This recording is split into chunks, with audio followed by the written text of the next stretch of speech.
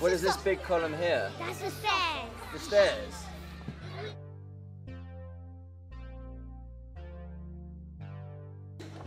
I made I made some windows. This is the football pitch. I drew a fish tank. Pretty green door. Is it green in real life? No. No.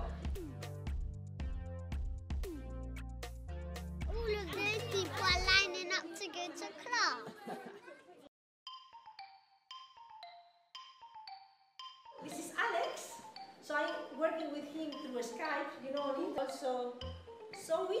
We're focusing on as education, education for everybody.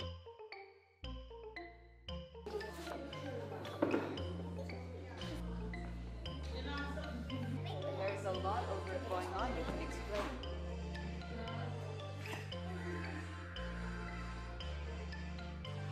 Um, we have um, a door to lead up to lead to our playground. Do you have one as well? Do you have foot, a football pitch?